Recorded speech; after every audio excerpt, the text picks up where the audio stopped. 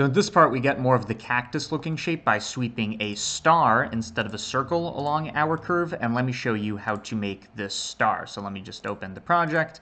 Uh, what we have so far is a curve and a circle sweeping along that curve. To make that circle into a star, here's what we're gonna do. I'm going to set position because I want to kind of modify it.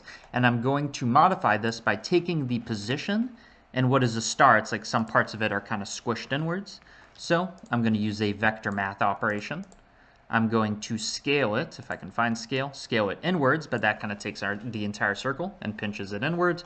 I want to say only do that for every other point. So in the selection, what I can do is I can look at modulo 2 of the index. What this means is it's going to see uh, which ones are divisible by 2. So it's going to go odd, even, odd, even, odd, even. So every other one, it's going to apply the scaling inwards.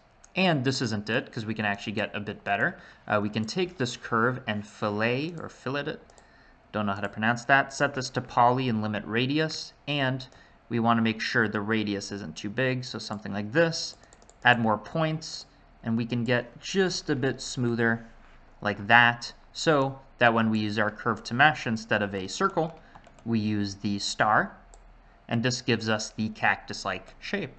Uh, next thing I want to do is it kind of looks like a straight up thing. I want to kind of have a profile that looks like this. So it kind of gets bigger in the middle and pinches at the top. So let me show you how to do that.